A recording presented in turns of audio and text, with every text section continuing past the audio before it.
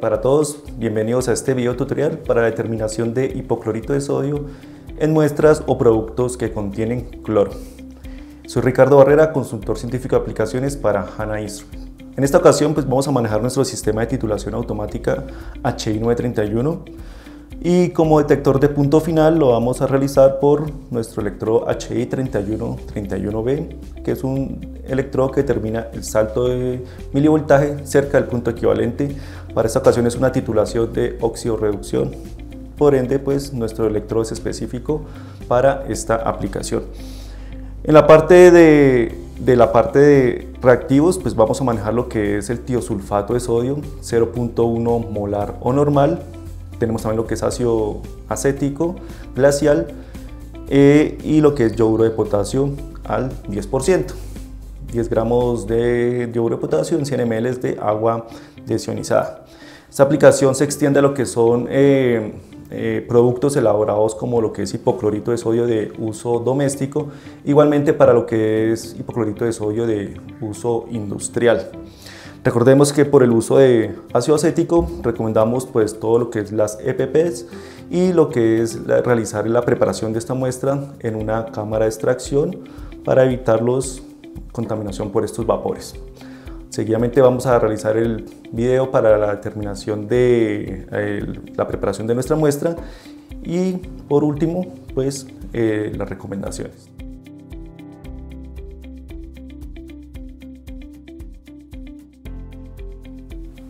Ahora continuamos con la preparación de la muestra. Para ello pues vamos a tomar una cantidad de hipoclorito, ya sea de uso doméstico o uso industrial. Pesamos entre 0,5 a 1 gramo aproximadamente. A ello le vamos a adicionar 50 mililitros de agua desionizada y procedimos a adicionarle lo que es el yoduro de potasio y el ácido acético glacial. Como les comentaba inicialmente, para esto se recomienda siempre el uso de las EPP, su careta y también preferiblemente realizarlo bajo una campana de extracción. Inicialmente pues les vamos a adicionar lo que son los 10 ml de yoduro de potasio. Va a ser la reacción prácticamente con el cloro para que luego el titulante realice la cuantificación. Luego proseguimos a adicionarle los 10 ml de ácido acético glacial.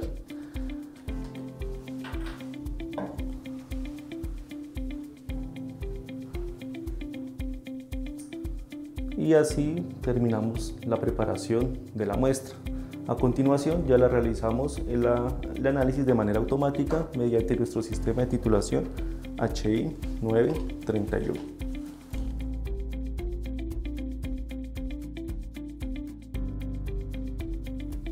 Una vez ya tenemos preparada la muestra, seguimos con la titulación mediante nuestro sistema HI 931.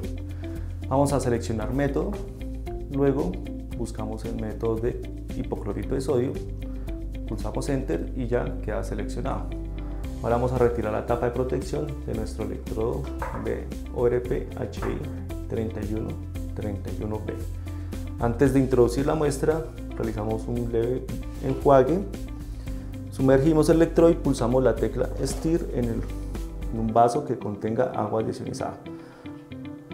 Lo dejamos aproximadamente unos 10 segundos y luego pulsamos nuevamente Stir y vamos a introducir la muestra.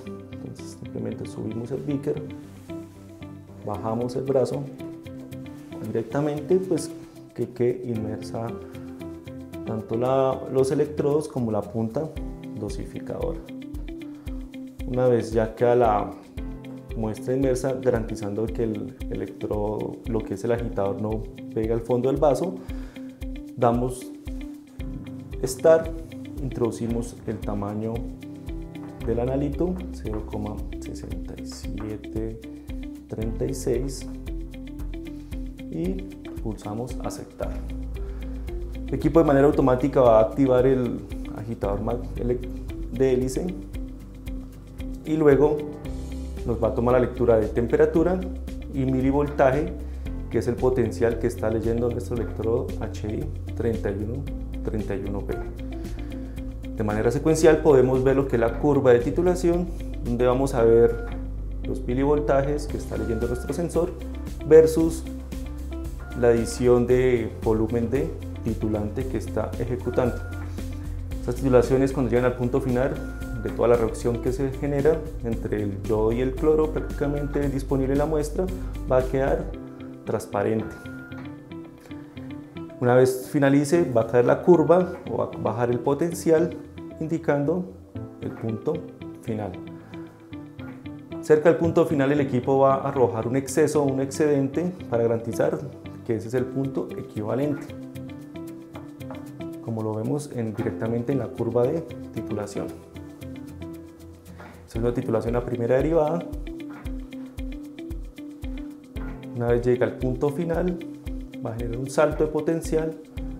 Ese salto de potencial va a indicar que ese es el punto equivalente de la titulación. Cuando termina nos va a mostrar la curva junto con el volumen consumido de titulante.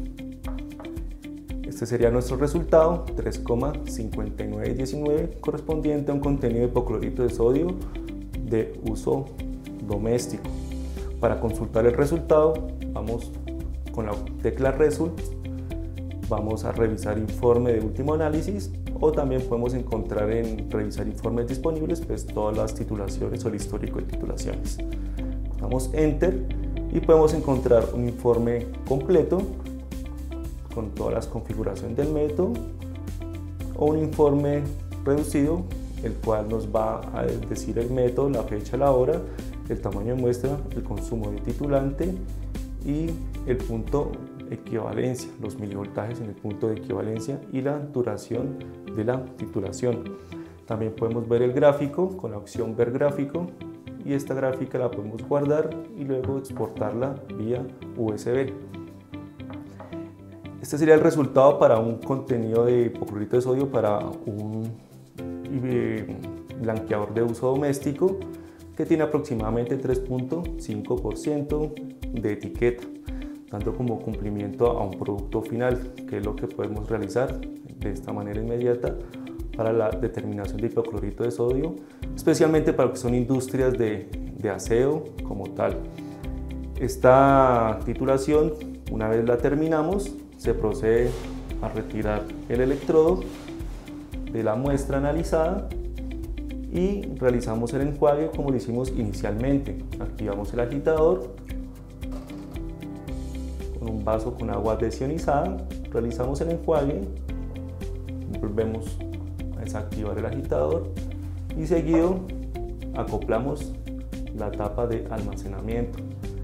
Esta tapa de almacenamiento contiene solución HI 70-300 que es KCl al 3,5 molar. Siempre se debe almacenar en esta solución. Y así daríamos por finalizado este video tutorial para la terminación de contenido de hipoclorito de sodio en blanqueadores. Gracias.